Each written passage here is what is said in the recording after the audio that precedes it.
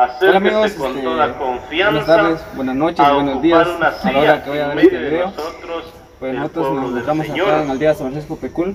en este momento y en esta tarde pues venimos a visitar a una muchacha, pues que es madre soltera y pues acá estamos con los compañeros del team. El único no están todos, pero los que estamos venimos acá a, a visitar este caso, ¿va? porque es una madre, madre soltera, porque es muchacha, pero ya, ya tiene un hijo. Y pues acompáñenos a, por algún motivo, a ver este caso y a conocer sobre ella, sobre este cómo vive y qué es lo que necesita quiera que usted se encuentre, ahí le rogamos su fina y amable atención al Evangelio. No importando el lugar donde Buenas tardes. Buenas tardes. Y usted presta la atención de vida a este santo mensaje. Buenas tardes. Cristo llegará a tocar hasta la puerta de su corazón. Delva, Delva Mariana. Sí. Buenas tardes, vean nosotros acá visitándola. Una, una persona nos habló sobre, sobre su caso, ¿verdad? Nos comentaba de que es madre soltera, que usted vela por su niña, ¿verdad? Su niña. Y entonces nosotros, por eso venimos a visitarla, ¿verdad? Para que nos dé a conocer su caso, cómo es, qué es lo que usted hace, ¿verdad? Para poder sostener a su niña y usted, ¿verdad? Prácticamente ya siendo madre soltera es un, caso muy difícil y tener que sobresalir ya con, con su niña, ¿verdad? Entonces, por eso, gracias a esta persona, nosotros nos encontramos hoy acá en San Francisco con los compañeros. Y teníamos, bueno, acabamos de salir de una actividad y una vez aprovechamos para pasar a visitarla y gracias a Dios la encontramos, porque veníamos por ese caso y por el suyo. Y acá estamos nosotros con usted si usted nos pudiera explicar o platicar cómo ha estado, qué es lo que usted hace para poder sostener a su niña y, usted prácticamente, ¿verdad? Ajá, este, viera que tenía un hermano que me ayudaba pero tuvimos problemas, tomaba mucho,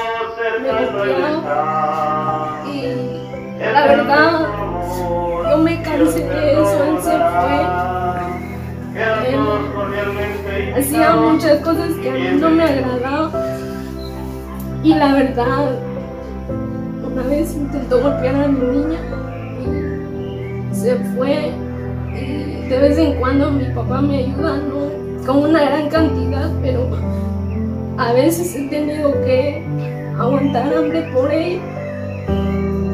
He tenido que hacer cosas que no he querido por él, porque uno por un hijo hasta pierde su vergüenza. Todo, porque ellos no tienen la culpa, más uno que hace sus cosas sin pensar.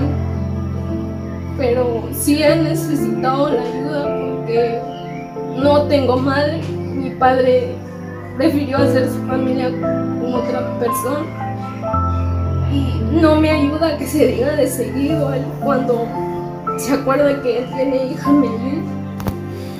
Mi hermano se fue, ya no sé nada de él, viene, solo viene borracho a insultarlo a uno, pero está bien, no le digo nada. Y mi madre falleció hace ocho años ya. Y sí he tenido que hacer cosas que no tengo que hacer por él. Y he necesitado la ayuda porque a veces me he quedado sin nada, he ido a tocar puertas, veces me ha humillado, pero yo por ella lo he aguantado todo. Y solo. ¿Usted con quién vive acá? Sola. Sola vive. Sola. Pues sí, lastimosamente, ¿verdad? Lo que es muy duro lo que se está pasando. Difícil. Y es cierto, como lo dice, ¿verdad? Uno de madre lucha por sus hijos. También es algo que es de admirar, ¿verdad? Porque a veces muchas personas que son madres, son padres, prefieren mejor dejar, abandonar a sus hijos y no hacerse cargo. Y usted está luchando por su hija sola, como nos dice, ¿verdad? Sola no tiene quien ayude. Eso es de, admirar, ¿verdad? Porque es difícil ahora que una mujer quiera salir adelante sin tener cómo, ¿verdad? Y buscar medios para poder sobresalir con, un hijo. Bueno, nosotros, ¿verdad? Venimos, usted nos comenta que ha visto nuestros videos, que bueno, ¿verdad? Nosotros nos alegramos porque también tenemos personas que se han, eh, se han dedicado un poco de tiempo para poder observar nuestros videos de las distintas clases de, de actividades que nosotros realizamos. Nosotros, como le comentaba hace un momento, somos un grupo de jóvenes que nos dedicamos a brindar ayudas sociales, no es de nuestro dinero, sino del dinero de, de suscriptores, de personas que están acá, en, bueno, algunas personas en nuestro país y otras personas en el extranjero. Gracias a ellas nosotros hemos llevado alegría, hemos llevado una ayuda a las personas de, de distintos cantones de nuestro municipio, como también de acá de Pecul. Y esperamos, ¿verdad? También invitamos a nuestros suscriptores que si alguien puede ayudar a doña Delva, Delva Mariela, acá en San Francisco Pecul, igual si usted quisiera depositar su confianza en nosotros, nosotros con gusto vendríamos a hacerle llegar cualquier ayuda, cualquier donación que usted quiera hacerle llegar a ella.